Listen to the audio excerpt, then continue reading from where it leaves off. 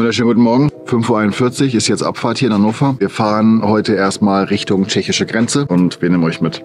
Wir haben den Golf schon auf dem Trailer. Der, ich weiß nicht, ob ihr das Video schon gesehen habt, aber der Bus läuft wieder. Der ist wieder heile. Wieso, weshalb, warum? Äh, da gibt's auch noch ein Video. Ich habe Dominik dabei. Guten Morgen. Guten Morgen. Ist halt absolut nicht so unsere Zeit, ne? Wir Nee. fangen hier im Büro eigentlich immer erst so um 9 Uhr an. Naja, Abfahrt. We don't need scars just to know we're human. We can let the world just tell us so. Light ourselves up when we're out of luck. All of the love in me was an illusion. Until you made my world. So, wir sind angekommen. Ich bin die Marlene von Fox. Ich denke mal, dass, dass mich einige schon kennen. Ich bin so diejenige, die immer alle rumführt. Ich bin auf den Messen und ja, ich zeige gern mein Gesicht, weil ich, ich erzähle euch halt generell einfach gerne was über Auspuffanlagen. Deswegen sind wir auch heute hier und zeigen wir mal, wie das Ganze hier so funktioniert. Jetzt kommt das Fahrzeug hinter mir erstmal auf die Bühne.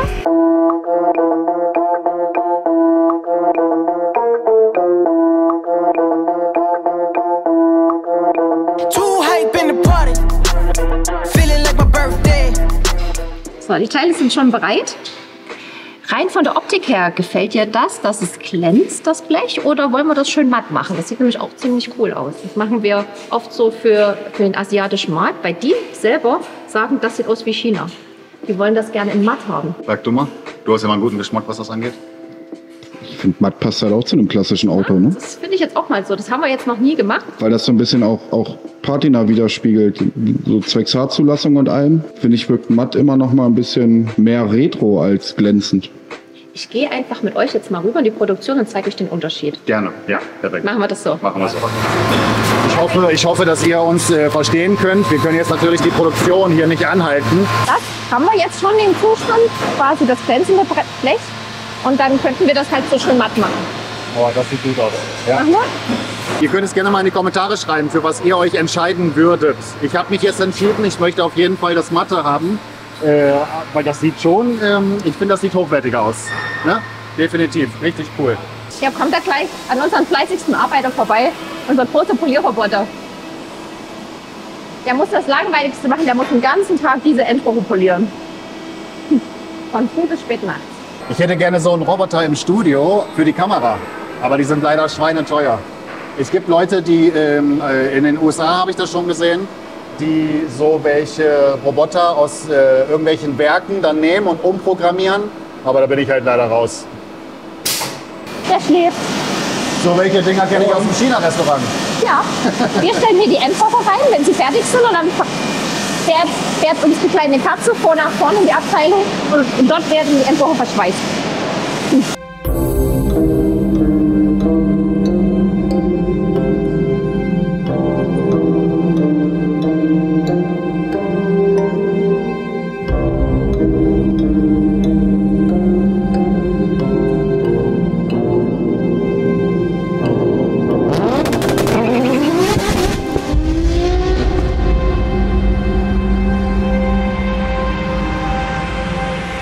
Weißt du, wo ich gerade das Bedürfnis zu hätte? Auf TikTok live zu gehen. Weil dann könnt ihr mit mir interagieren, könnte, man sagen, was, ihr, äh, was, was die Leute sehen wollen und so. Weißt du?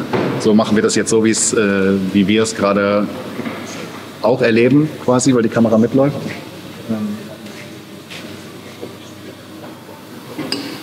So ist das. Ja, geil. Jetzt, jetzt nur so mal. Mega. Außer bei dem, wo du halt die, die große Stoßstange hast, da kannst du halt ein S-Rohr machen, das sieht da gut aus. Weil da kannst du nicht so steil nach oben gehen, weil dann die Stoßstange ja weiter unten sitzt. Aber hier bei dem würde ich das machen. Ja, definitiv. Das ist halt die typische Supersprinter-Ding. Ne? Ja, finde ich, finde ich super.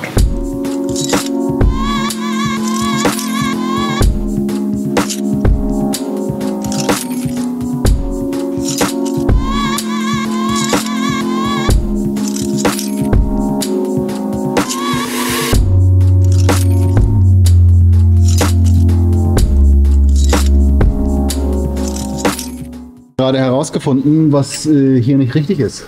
Guck mal. Dieses Ding hier gehört eigentlich da in die Schiene. Äh, deswegen habe ich so Probleme mit der, mit der Schaltung. Aber das äh, Fahrwerk, was hier drin ist, ich weiß gar nicht, welche Marke das ist, tatsächlich äh, nicht gut. Und ähm, ist extrem hart. Und äh, da, wo ich wohne, da machen die gerade überall Glasfaser und machen das aber nicht zu, wie sich das gehört, sondern legen Gelikplatten da rein, weil sie das wahrscheinlich nochmal wieder aufmachen müssen. Äh, und der, du fährst wirklich so die eine, ne, die Straße. So, und dann kann das schon mal aushaken. Hier haben wir gerade auch noch festgestellt, ähm, müssen wir, ähm, wie nennt man das? Ja, ein bisschen eindrücken. Ein bisschen, ein bisschen eindrücken, damit das halt hier dann nicht, nicht Aber weil es ja halt ein größerer Rohrdurchmesser ist. Ja. Deswegen wird es da ein bisschen enger zum Stabi. Ja.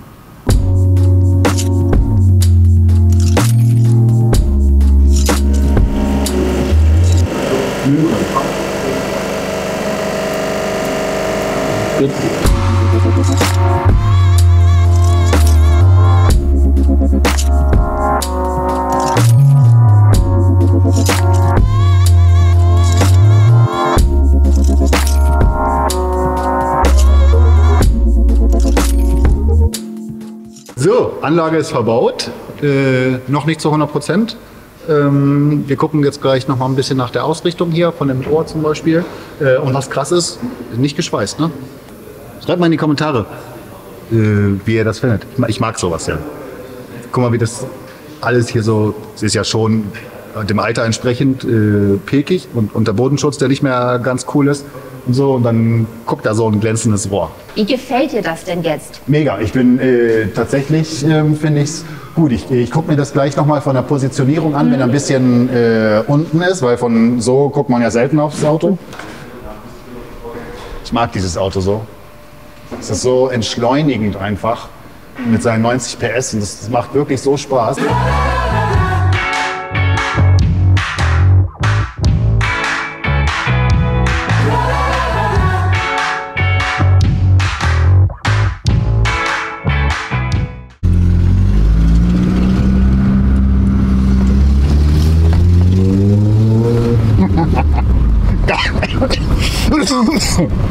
Geil. Die sind falsch, ne? Ja.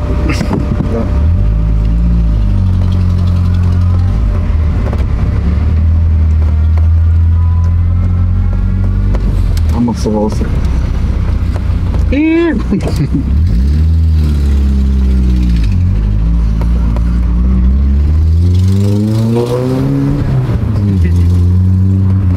Boah, ist geil.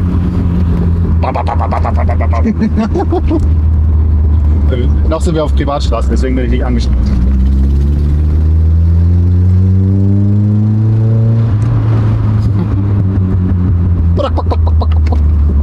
Hab da so ein paar Hühner im Auto.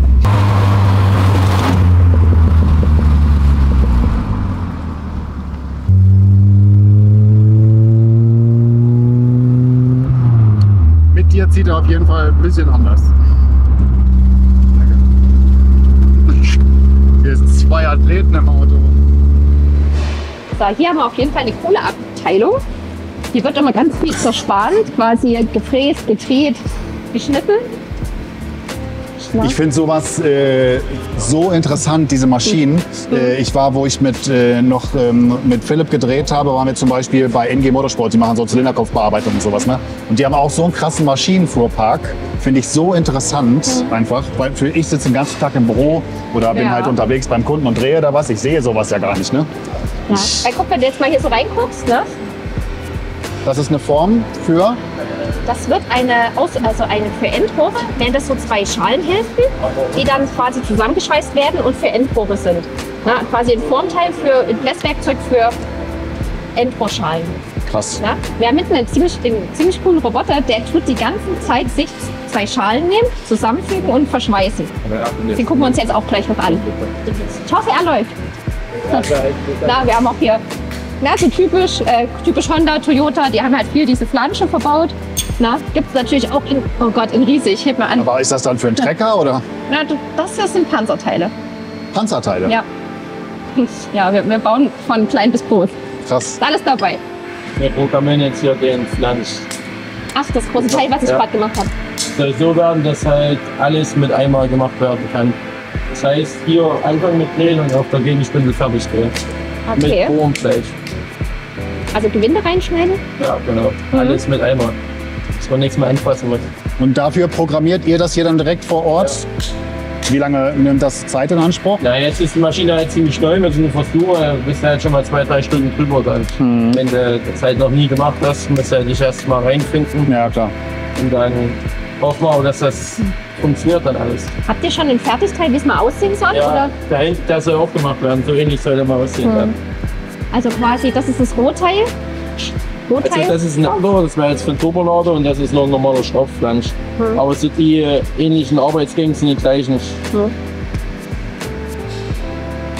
Krass. Wie hat man sowas früher ohne so welche Maschinen gemacht? Weil das, Viel Zeit aufwand, hin und her drehen und wieder neu anpassen, ausrichten. Also für so einen Flansch früher bestimmt drei, vier Stunden gebraucht. na gut, aber da war der Mindestlohn auch noch, äh, Mindestlohn und Materialpreis auch noch Ja. im Keller wahrscheinlich. Ne? Jetzt Da war China noch kein Konkurrent. Ja, Ganz einfach. Die stimmt. Maschine braucht vielleicht eine Dreiviertelstunde für einen das, wenn überhaupt, vielleicht sogar eine halbe nur. Nicht schlecht. Danke. Kein Problem. Ist das hier ein großer Drucker oder was? ähm, Nee, da kommt, da gehen Teile durch, das ne? ist die Zugführung. Elias? Elias? Das, erklär doch mal das Teil. Ich will nichts Falsches sagen.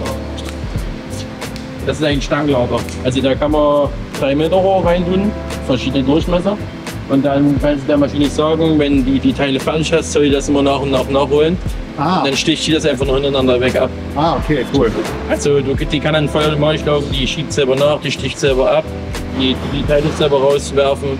Aber ähm, durch das, das, Abstechen ist wie so ein, äh, stelle ich mir das vor, wie so ein Messer, was da durchfährt. Das muss ja so Ja. scharf sein, äh, dass das nicht krumm wird, ne? dass das da nicht verbiegt. Dann Quasi. ja hier gespannt Ja, und du, kann, du lässt es dann einfach nachschieben und spannst das wieder ganz nah am Vorder. Dann tust du einfach mit dem Abstichschwert, also mit diesem den Schwert abstechen. Dann Ah. fällt es einfach unten in die Maschine rein. ah, krass. Bis zu 3 Meter kannst du machen und bis Durchmesser 50, glaube ich. Ja. Also Vollmaterial Durchmesser 50. krass. Genau.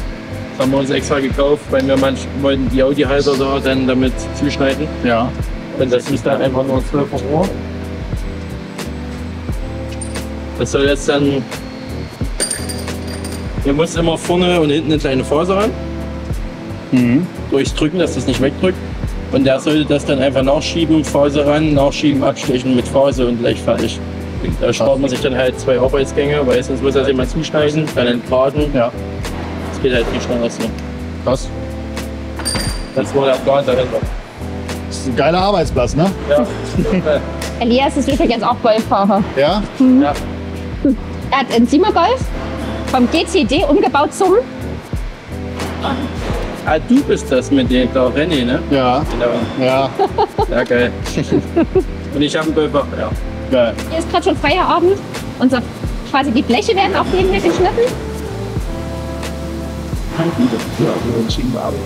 Aber Krass. der wird nächstes Jahr ersetzt. Wenn wir eine neue Halle gebaut haben, kommt unser riesengroßer Flachleser. Der hat dann noch ein eigenes Blechregal. Das heißt, wir steuern den einfach nur vom, vom Büro aus, kriegt er die Aufträge und dann wirft er einfach nur die fertigen Teile. Alles mit Robotern, mit Greifarmen und so weiter. Äh, Also ich bin, ich bin wirklich beeindruckt, was dieser, weil man muss ja auch sagen, dass das ja auch eine riesen Investition ist. Du kriegst diese Maschinen ja nicht einfach mal so, Ja. äh, sondern die kosten halt richtig Kohle, ne? Hier werden quasi, ach guck mal, Golf 7. Das ist der Eingangsbogen für unseren Golf 7 Schalldämpfer. Ja. Quasi, der kommt dann hinten so in den, ne, der Endschalldämpfer, der quer liegt und dann gehen wir hier zum Mittelschalldämpfer. Ja, dann müssen wir mal, keine Ahnung, ich glaube so 50 Stück bieten wir hier gerade für die nächste Serie, die bald fertig wird. Aber leider gerade nicht lieferbar. Aber nächste Woche sieht es schon gut aus. Das, Genau. Im Prinzip, wenn, er- wenn er dann fertig ist, muss das halt immer hier reinpassen. Na? Das ist halt immer die, zur Überprüfung haben wir diese ganzen Schweißlernen. Ach so, und äh, äh, der, der Mitarbeiter, der prüft jedes Teil, was da rauskommt und guckt, ob das passt. Ähm, ich glaube, in so einem Fall jedes fünfte Teil. Ah, okay. So stichprobenartig halt. Ja. Ja, okay. Genau.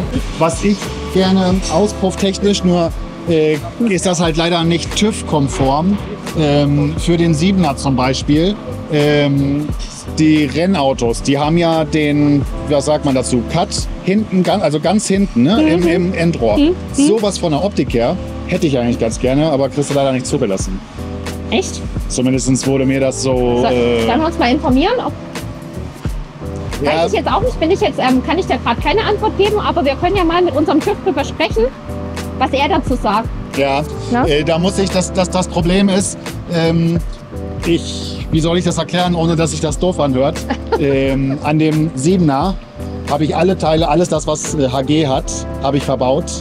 Und deswegen, das wäre uncool, wenn ich Da was ändern. auspufftechnisch zum Beispiel da jetzt noch jemand anderes mh, fummeln lassen würde, weißt du? Ja. Das, das, da, unfair, da würde ich, da, ja, da würde ich mich, da würde ich mich nicht wohl bei fühlen. Nein, alles richtig, alles gut so. Ähm, ja? aber also ich wollte es nur mal sagen, dass ich sowas zum Beispiel tatsächlich aber du findest die Optik cool. mega, Ja? mega Mhm. cool. Aber mit den Leuten, mit denen ich bis jetzt gesprochen habe, die Ist haben es dann ein gesagt, Cut denn oder reicht es, wenn es nur aussieht wie ein Cut? nö, das kann auch so aussehen, das muss keine Funktion haben. Das, das, Hast du mal, ein- hast, kannst du mir irgendwie mal ein Bild schicken, wie das aussieht? Dann, man kann das ja an einem anderen Auto mal machen. Muss ja nicht der Siemer sein. ja. Das wäre das wär wirklich, weil das ist, das ist das einzige optische, was dem Wagen meiner Meinung nach noch so ein bisschen äh, fehlt. Weil wenn du hinten einen 100-Zeller Cut dran machst, ähm, dann tut es ja auch dem Fahrzeug nichts. Ne? Da geht ja trotzdem noch genug durch, aber du hast halt die Cut-Optik. Ja, und dann, je nachdem, Ja, aber, äh, du, du weißt aber, was ich meine, oder? Ich, äh, Ja. wie, wie so ein Netz, was direkt im, äh, im Endrohr sitzt, was Ja. du, also was direkt quasi damit abschließt. Ja, das ist äh, gut, vielleicht, wenn, wenn es keine wie, Funktion hat. wie, wie dick? Kann man alles versorgen. Wie, wie dick ungefähr? Soll das schon so groß sein wie ein Cut? Oder eher ein bisschen kleiner? Nee, so groß wie das Endrohr. Wie das Endrohr. Na, aber Genau. wie groß? Wir haben Endrohr, die sind bis 125 groß. Achso, ich habe im Golf 114, glaube ich. Hm? Okay. Ich glaube 114, da weiß ich Ja. aber nicht. Genau, müsste ich nochmal im Video nachgucken. Ich hol mal was, dann kann ich dir ja zeigen, ob das das ist, was du weißt. Bin gleich wieder da. Ja, okay, perfekt. Sie ist wirklich so lieb einfach, oder? Das ist So, so eine Liebe. Ja, ich, äh, ich, es gibt bei Benny Leuchter, da habe ich das gesehen, der, der Volkswagen ähm, Testfahrer quasi, ne? ähm, bei dem habe ich das gesehen, bei seinem äh, Golf 7 und das fand ich, das hat so schön ausgesehen. Tatsächlich, aber mir haben die Leute, mir haben alle gesagt, das krieg ich, da kriege ich keinen TÜV mit. Wenn ihr eine Möglichkeit habt, wie man so etwas TÜV-mäßig vielleicht doch irgendwie hinbekommen könnte, dass es wirklich legal ist, nicht ich kenne einen TÜVer, der trägt dir das ein, sondern das muss bei jedem anderen TÜVer auch standhalten. Ähm, äh, dann sagt da gerne mal Bescheid, weil optisch ganz genau bin ich. Aber der, der letzte, der eine Satz war gut. Das kommt oft nach, der Satz. Den kriegst du alles eingetragen. Ja, genau. Aber das, das ist halt das Problem. Problem. Dass, Ja, man, man klärt den Kunden auf und dann kriegt man so, ich krieg das eingetragen. ja. ja, selbst wenn er es eingetragen bekommt, aber in der nächsten Kontrolle wird es angezweifelt und dann kontrolliert das ein anderer Drucker und fällt halt durch. Ne? Das kann ich halt, äh, das geht nicht. Und man hat ja auch, auch wenn, egal wie groß die Reichweite ist, aber meiner Meinung nach, wenn du im Internet was machst, hast du ja auch eine gewisse Verantwortlichkeit. Ja. Ja, denn? mit dem äh, Endrohr, das hier so reinklemmen, ist ja jetzt hier ein neuer Trend. Ne? So, wenn du wenn du Handwerker bist, dann dass du dann halt so durch die Gegend läufst und die Leute interviewst oder das Ding auf den Pinsel tust oder was auch immer. Halt. Das darfst du nur nicht versehentlich anmachen. Nee, das wäre doof. Ne? Ah, krass. Äh, Au. Dann müsste ich auf jeden Fall auf Automatik umsteigen. Äh, umsteigen. ja, ey, vielen, vielen Dank, dass wir äh, das hier heute begleiten durften. Äh, ihr seid eine richtig coole Firma. Danke. Ähm, hatte ich als ähm, Dominik hat das ja alles eingetütet, ähm, als ähm, er darüber gesprochen hat und also ich, ihr wart mir ein Begriff, ich wusste, was ihr macht, aber dass ihr so riesig seid, wusste ich nicht. Ich glaube, das wissen auch, äh, ne, äh, dass das Bild von dem, äh, von dem Gelände, wie groß das hier ist, ich glaube, das weiß man. Für die Leute, also die Leute, die selber nicht hier waren. Ne? Mega krass. Auch äh, Maschinenpark und so stehe ich voll drauf. Das sind halt so ein kleiner Geheimtipp. Ja, mega, wirklich. Ähm, Und ich sag mal so, zu uns darf nicht jeder kommen. Na, da fühle ich mich geschmeider. Hier, hier schlafe ich gut. sehr gut. Ja, äh, wir fahren jetzt noch weiter nach äh, Tschechien rüber und machen noch ein bisschen weiter auf unserem Roadtrip. Hoffentlich nicht wieder durch Berg und Tal, wobei doch wahrscheinlich schon. Ne? Kleines bisschen. Ein kleines bisschen, aber das also 15 Prozent. Das war schon echt. Äh, Ja. Da waren wir kurz im Survival-Modus. ja. Ich musste wirklich ich musste zurückrollen, um Anschwung zu nehmen, weil ich es nicht mehr geschafft habe. Ich fuhr auf einmal nicht mehr, sondern rollte nur noch rückwärts.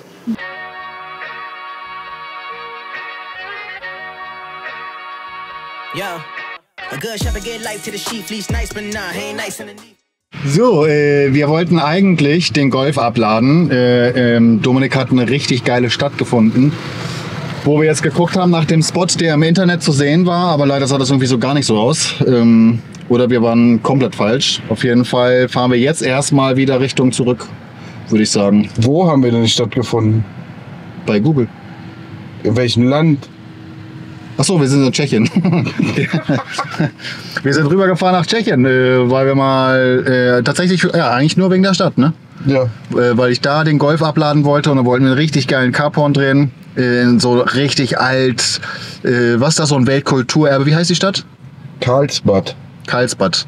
Äh, Sah von den Straßen ja auch schön aus. sah schön aus, aber mit dem Trailer und so ist es halt schon echt schwer zu fahren. Ähm, und äh, Und, es sah auch nicht so schön aus. ja. Cut, das darf keiner sehen. Äh, ja, wir machen, wie genau, wir, ist schon spät, ne? Ist 19.43 Uhr, ich bin 4.30 Uhr wach. Ja, du bist 34 wach. bin seit, seit 4.30 Uhr wach. Ähm, wir fahren jetzt erstmal Richtung Deutschland. Vielleicht fahren wir noch äh, bei besuchen? Äh, Leuten vorbei, genau, wen besuchen. Ähm, ja. Seht ihr gleich, ob es geklappt hat. Oder auch nicht. Äh, mittlerweile 1.04 Uhr. Ähm, wir sind völlig fertig. Ich war kurz davor, so 10, 15 Minuten vor Ankunft zu sagen, wir müssen auf Raststätte. Ich muss mich eine halbe Stunde hinlegen. Ähm, wir wollten, eigentlich wollten wir erst, vor- war der Plan da in Tschechien, die Stadt zu besuchen. Die war halt, haben wir ja gesagt, nicht so cool. Dann wollten wir nach Dresden fahren, sind wir so, du konntest entweder links, äh, entweder rechts oder links, haben wir uns ausgesucht, okay, okay, wir fahren schnell nach Dresden, weil eine Stunde und 20 ungefähr Umweg gewesen, ne? Äh, da ist aber Stadtfest, weil ich den Golf ganz gerne in äh, Dresden Innenstadt gestellt hätte, ein bisschen Carporn und so. Ja, jetzt sind wir doch wieder zu Hause. Ich hoffe, das Video hat euch gefallen. War auf jeden Fall ein mega geiler Tag. Hat mir mega viel Spaß gemacht bei Fox. Ich hoffe, dir auch. Äh, ich hoffe, euch auch. Und äh, bis zum nächsten Mal. Ciao.